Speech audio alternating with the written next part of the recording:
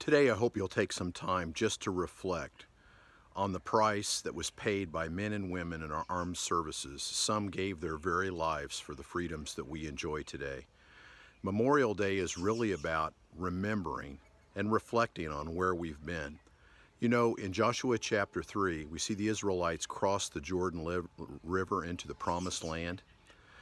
And then more importantly, in Joshua chapter 4, they stopped and one man from each tribe took a stone from the river and erected a monument so that they wouldn't forget what the Lord had done for them on that day.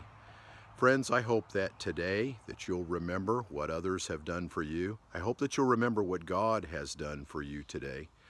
Thank a soldier, thank a veteran, and most importantly, make someone else's life better today. Thanks for listening.